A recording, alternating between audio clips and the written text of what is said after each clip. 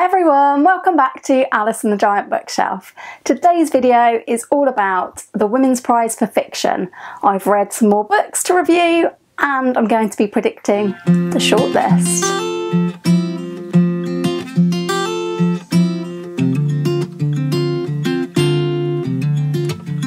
Hi everyone, welcome back to my channel or welcome if you're new. My name's Alice and I have a way too many books.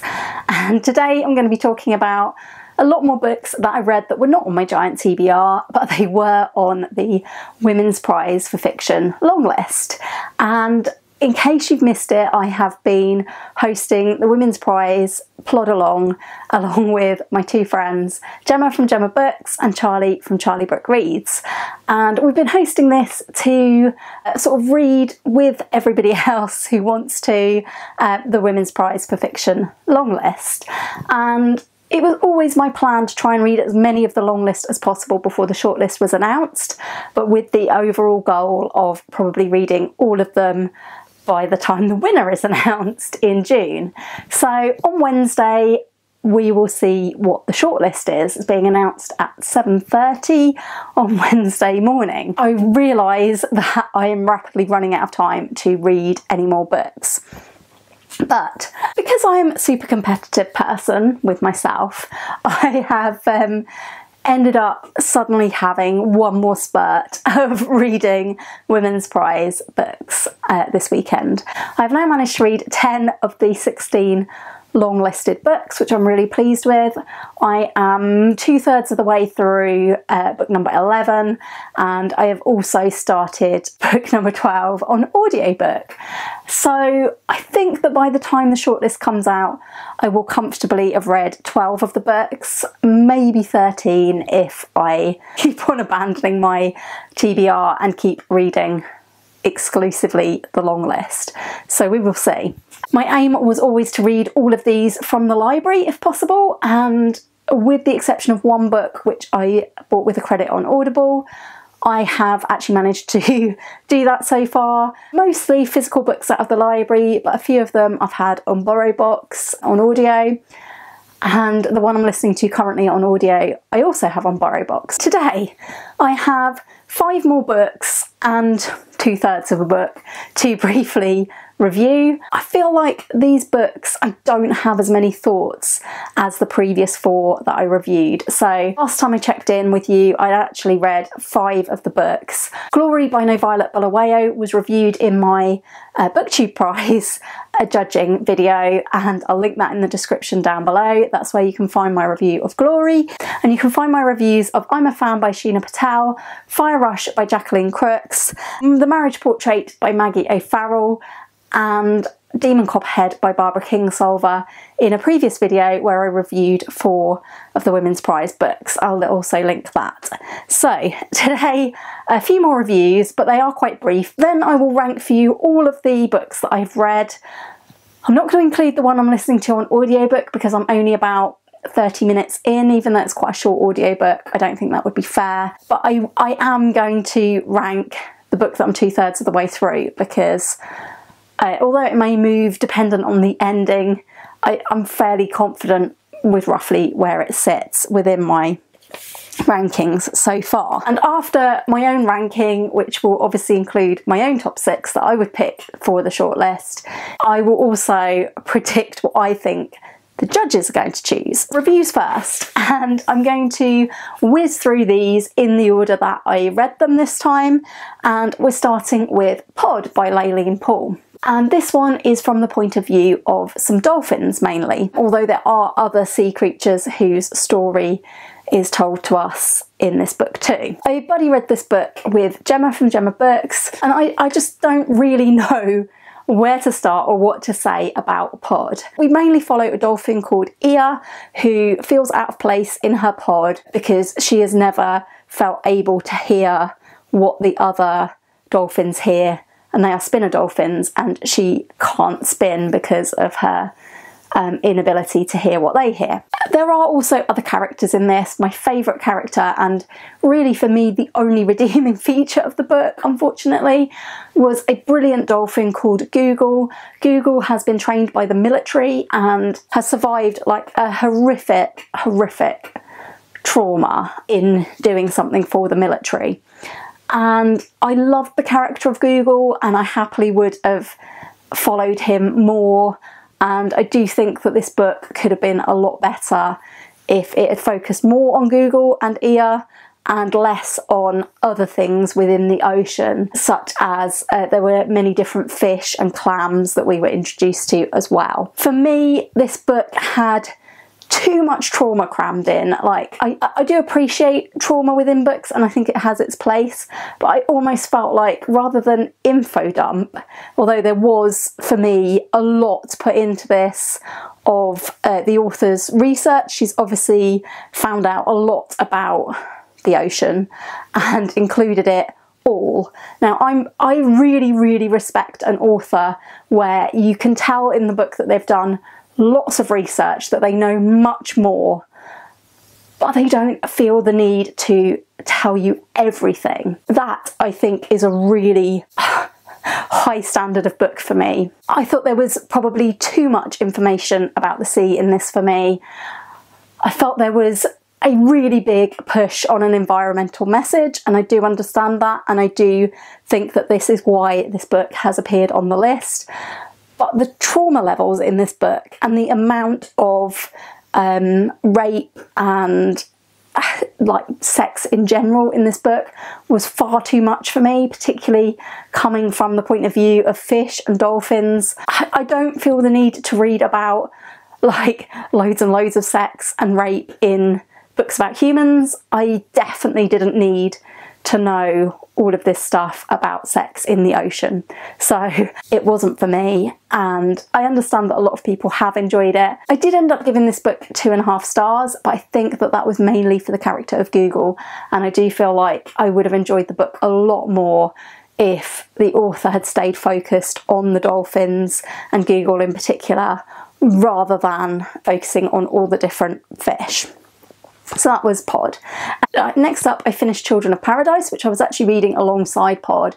And I feel like Children of Paradise by Camilla Grudova, which is the book on this list that is set in a cinema, um, an old fashioned cinema. I I really enjoyed the cinema as a setting. I thought that the uh, the cinema was excellent. I feel like maybe I would have got slightly more from the book if I'd have understood all of the film references uh, because each chapter is titled for a different film.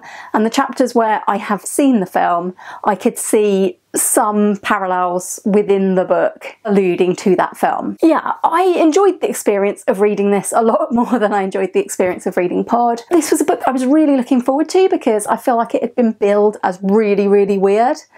And it is weird, but it, for me, it didn't live up to that weirdness enough in the like final third of the book. Certainly weird things happen in the cinema. There is a lot a lot of bodily fluids in this book. If I had to summarise it in a sentence, it would be cinema full of bodily fluids because it's just constant.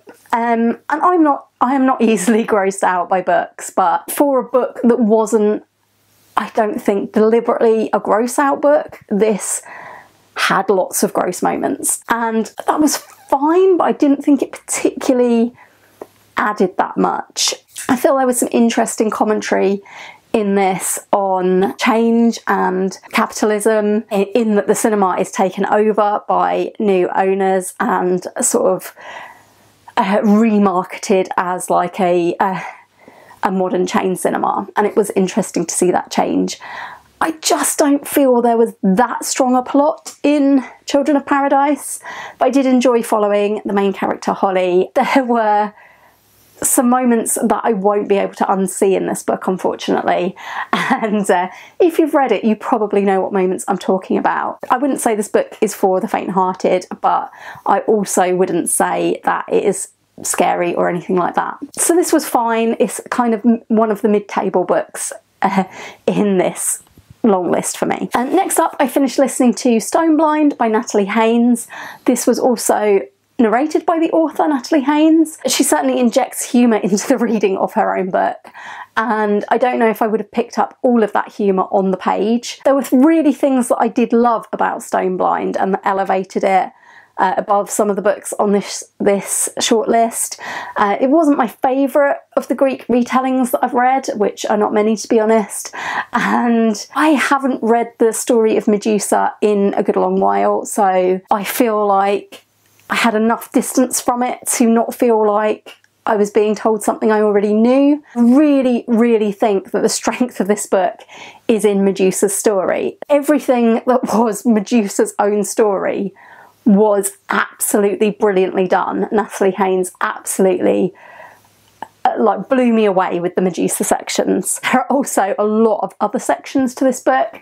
Uh, there's quite a lot between the gods and most of the stuff between the gods is the gods arguing, which was fine. I didn't mind the bits with the gods. Some of them were quite funny. I, I understand that the gods were there because they had a big part to play in the story, but I think that bit could have maybe been pared back a little bit. Don't know. That said, I really did enjoy listening to the audiobook.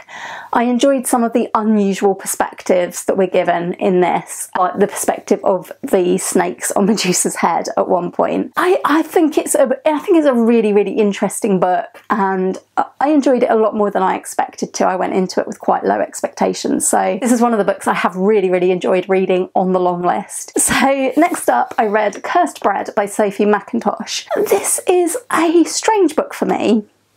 I think it's a strange book for everybody, but I really liked Sophie Mackintosh's writing style. I thought it was excellent, but I don't think that there was actually that much plot to this story. So I feel like this book's being marketed as a book about cursed bread, about a mass poisoning in a town in France that, that actually happened.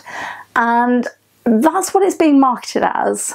But what I think it actually is, is a story of obsession. So, like I'm a fan on this list, there is so much obsession in this book, and it's the obsession again of a woman for another woman. So, in this book, Elodie, who is the baker's wife and is quite bored of her life, I would say, becomes obsessed with a new couple in the village who are referred to as the ambassador. The man and the woman is called Violet. And Elodie becomes absolutely obsessed with Violet in particular, but the husband a bit as well. And it's, yeah, it's really a story of how obsessed with them she is and what that leads her to do and the poisoning is kind of a backdrop to this story and it would be unfair to say that nothing happens in this book because towards the end uh, we see a lot of the fallout of what is actually happening behind the scenes in this book. I could have done with more of this madness and excitement that we get near the end of the book and probably less of the rest of it. But that was just my preference. I really did like the writing style and I liked the fact that it had this, like, I feel like Elodie was an unreliable narrator and that uh, she's looking back on this and we get some of her life now as well as her life then. I did always find it interesting as I was going along. I was wondering what's going to happen, what has happened. I don't think this book is quite putting things off for me, but I did I did largely enjoy reading it even though not that much happens. So again, for me, it's kind of within the mid-table of these books. Next, I read and finished yesterday, The Bandit Queens by Parini Shroff. This one I really, really did enjoy. I found it a bit slower to get into than I thought I would. This is a book set in India about a woman who is believed to have killed her husband uh, five years ago. And the whole village sort of holds her in this like they don't interfere they don't mess with her because they think that she killed her husband who disappeared. And she doesn't correct them on that because she likes the way they ignore her i guess. The impetus for this book is that uh, some of the other women in the village start to ask Geeta our, our protagonist to help them murder their husbands. And yeah, this is all about the chaos that ensues. This has been billed as a book with a lot of humour, and I did like it is tongue in cheek. I did enjoy that element. I wouldn't say it was the kind of humour where I was laughing out loud or anything. It was a quiet humour that I kind of enjoyed, and at the same time, I felt this had a lot to say about being a woman, particularly in India, particularly within the caste system. And I found all of that side of it incredibly interesting. I also really liked the dog in this, Bandit. I thought Bandit was excellent. Overall, I really did like the story of this, although it didn't always do what I thought it was going to do from what other people have said. So yeah, this is undoubtedly one of my favourites on the list. I think this is a really well written debut. I really enjoyed the combination of things that this book is doing. Part sort of murder mystery, but backwards, like how will they do it? it partly a book about uh, women getting together and female friendship, and partly a book about husbands and like the damage that can be caused in relationships and marriages. Also, everything that it had to say about where this is set and the caste system and being a woman or a wife within that caste system. I thought it was both really interesting and very entertaining. And finally, we have the book that I am two thirds of the way through, and that's The Dog of the North by Elizabeth McKenzie. I thought that this would be the book that I would like least on the long list, if I'm honest, F literally from snap judgments from seeing it and reading the blurb. And this is a very, very strange one for me. So I've got absolutely no idea what is going to happen in the final third of this book as we speak. I have a couple of thoughts of things that would be quite predictable that I think may be going to happen and probably are going to happen.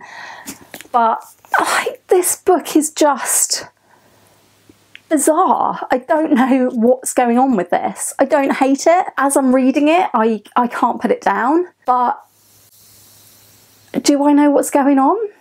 Not really. I think this book is basically about a main character called Penny who is a total mess. Her life seems to be in a complete state and she's in a bit of a state.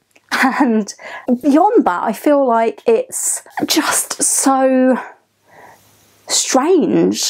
Like, I don't know what this book is trying to achieve. There's so many like weird people and weird happenings. Feels a bit random. Random. It feels very, very random. I'll let you know when I finish this book what I thought in the end, but it is very compulsive reading. Um, one thing I really, really don't like, and I absolutely hate it when they do this in books, is when people get injured in some way early on in the book and then they know that like their leg is infected. I've read more than one book where this happens. They know that their leg is infected, but they ignore all their symptoms of infection and are like, oh well, I hope it gets better, sort of thing. And you're like, just go to the hospital. Like this character is in and out of the hospital to visit people to show somebody your infected leg. Really, really wound me up. That is just one of many, many plot things in this book. I don't actually know what to make of anything within this book so far. I'm hoping there will be some sort of tying everything together at the end of this. I don't know if that is going to happen or not. And it isn't going to be a book that I absolutely love, but it also isn't a book that I hate. It's just a book that I think is a bit weird. I don't know. Those are the books that I have read and am reviewing. So the book that I have started on audio is Wandering Souls. I'm only, I think, on the third chapter of that, but I do only have like, I think four or five, four more hours to listen to. It's a very short book. So the books that I haven't got to yet on the list and probably won't get to now before the shortlist is announced are Trespasses by Louise Kennedy. I do have this one in hand, so if I get the other two finished, I might start this before the shortlist. I haven't got to Homesick by Jennifer Croft yet, but that is available in one of my local libraries, so I may go and get that before the shortlist comes out. And the other two I haven't got to yet are Memphis and Black Butterflies, and both of these are because uh, the library hasn't got them in for me yet. So Memphis, I've been first in the queue since the day one, but the queue doesn't seem to be moving at all. I think there are only two copies of this book in the county library system. I think probably more were being ordered in paperback, but I foolishly placed my reserve on the hardbacks. We will see when that one comes in. And Black Butterflies wasn't initially in my library system at all, and then obviously got ordered in after being announced on the long list. And this book is still on order with my library. I don't know when Black Butterflies is going to be available from my library, which is a shame because I would really like to read both of those two books. Do you think at this point that out of principle I am planning to finish the long list no matter what makes the shortlist. Anyway, let's get on with my ranking. For me, this long list, I feel like there's not been that many standout books. I absolutely adore Demon Copperhead. I thought it was the best book I've read this year. I think Barbara Kingsolver's a genius and I absolutely loved that one everything else within the list, like there, uh, you'll see in a minute, there are ones that I prefer to others, but I would describe most of these books as kind of mid-table books for me. There is like a steady bottom to the list that I, I, don't think will change or move, and there's a steady top to the list that I don't think will change or move. from my least favourite to my most, 11th and 10th, we have Glory and Pod. Both of the books that are told by animals in, in the list, so maybe that is just something I really don't get on with. I mentioned these both together because I would have said that Glory was my least favourite book on this list, but I do feel quite bad comparing it to Pod and saying it's the worst because I'm not actually saying it's the worst, I'm just saying it's my least favourite. I actually think that Glory is a lot more popular than Pod. I think there's a lot about Glory that I think makes it a better written book than Pod. But I think if I was going purely on enjoyment, I probably enjoyed Pod a tiny tiny bit more and it does pain me to say that a bit.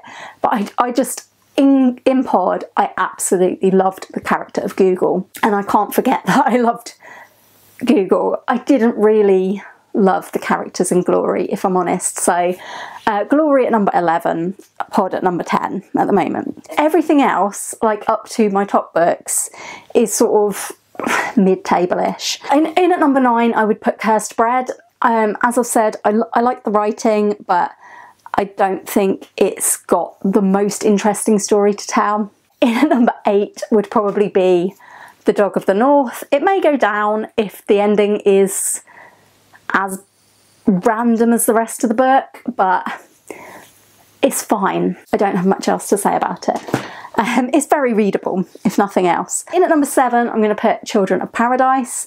So missing out on the shortlist. My top six. Number six, five and four, I would say for me are pretty level. I, I enjoyed these three probably about the same amount, but one of them I think will do a lot better than the others. So six, five and four, I would say roughly, and I probably would put these in a different order on a different day. I'm a Fan by Sheena Patel, Fire Rush by Jacqueline Crooks, and Stone Blind by Natalie Haynes. Possibly not in that order. The more I think about I'm a Fan, the more I think it's the best book of these three. And I do think that I'm a Fan is the book that will go far out of these three. But in terms of enjoyment, I enjoyed I'm a Fan. There were parts I didn't like and parts I did like. I enjoyed Fire Rush. Again, parts I loved and parts that I didn't like so much. And Stone Blind, again, a mixed bag. Parts that I loved and parts that I thought were only okay. Then my top three. And my top three, I'm very, very clear on the order of. That would be number three, The Bandit Queens by Parini Shroff. I think this is a really good book very much enjoyed it. A bit higher than a four star, which I would say um, I'm a fan. Fire Rush and Stone Blind, all four stars. This one for me, a little bit better than a four star, but nowhere near a five star. Uh, the Bandit Queens. It was a really enjoyable read for the most part. So yeah, that's in my number three. In at number two, The Marriage Portrait by Maggie O'Farrell. I just think that Maggie O'Farrell's writing style is a cut above most of the rest on this list.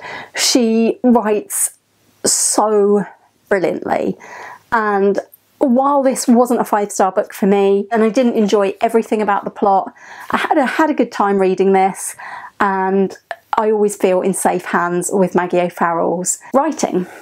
I think it's very, very good. And of course, top for me, Demon Copperhead by Barbara Kingsolver. By far and away the best book that I've read this year. Five stars and then some. I just absolutely loved the main character, Demon Copperhead, And I thought that this was a wonderful feat of writing, taking Dickens' David Copperfield and relocating it and giving it like this backdrop of the opioid crisis in America. I just thought it was wonderfully done. I loved all the sort of throwbacks to Dickens and I just I just thought this was an amazing book. By far the standout of the list for me, nothing else comes close. That's my ranking. My predictions. I will be incredibly surprised to not see Demon Copperhead on the shortlist. I absolutely think it will be there. The same with the marriage portrait, really. I think that both these previous winners of this prize definitely deserve a place on the shortlist, and probably we will see them on the shortlist. I definitely think, my third prediction, I definitely think I'm a fan will feature. I just think that this book is probably the most currently relevant book in this list. It's certainly of the ones that I've read. It has the most up to the minute social commentary for me, and what it has to say about social media, I think, is really, really interesting. And I don't think anything else on the list is quite doing what this book is doing. So I think that if we don't get the winner that everybody is expecting, which I think is Demon Copperhead, I do think that I'm a fan could be the, the sort of dark horse winner of this prize, potentially. Now, sadly, I think that my bottom rated book, Glory, will feature in this shortlist. That's the fourth book that I think will feature. I just think that regardless of how I feel about this book, it's cleverly done and there are parts in this book that even I thought were really, really powerful. I just wish there hadn't been so much repetition in the book. I really think it could have been cut down and been an even better book. I do think it will feature on the shortlist, but it obviously wouldn't feature on my dream shortlist. So for the last two places on this shortlist, I do think Bandit Queens is up there in the top six for most people who have read more than one book on the long list. So I'm going to put that in my fifth place. And in the final place, I'm really, really unsure. I think it's probably going to be another of the debuts because we do have nine debut novels on this list. So it would be very bizarre if, as well as those three established authors who have been shortlisted for prizes before, it would be very, very bizarre to me if we didn't have three debut authors. I think the strongest two contenders probably for this final slot would be Fire Rush, which I say because I have read it. I think it's doing interesting things with language, rhythm, and I think it's doing something that the rest of the list is not doing. But I also think that Wandering Souls, which I've only just started, has received so much praise. And on this one, I am absolutely judging from other people's reviews and not mine. I think Wandering Souls is probably telling the story most relevant to like the current news in the world. So I'm probably on balance going to predict Wandering Souls. But of the books I haven't read, I do think we could see Memphis or Trespasses sneak into that shortlist. And I do think that Stoneblind could sneak in. I actually think it's probably going to go to a debut over another established author. I'm not sure. I find it really tricky to predict, but let's go with Demon Copperhead, The Marriage Portrait, I'm a Fan, Glory, The Bandit Queens, and Wandering Souls. Now, I would be delighted if instead of Glory, we saw maybe Fire Rush or uh, one of the other debuts perhaps that I haven't read. Those are my predictions. So let me know in the comments what are your predictions for what we will see on the shortlist on Wednesday? Or what are your top six books that you've read from this list, or even just your top one? I hope you've enjoyed this video today, and if you have, please do give it a like. Please do consider subscribing if you haven't already. I do have some other Women's Prize content which I've put into a playlist, and you can uh, click on that over here. And you can also uh, find that in the description down below. That's all from me today, and I will hope very much to see you all again soon for another video all about books here on Alice and the Giant Bookshelf. Bye for now.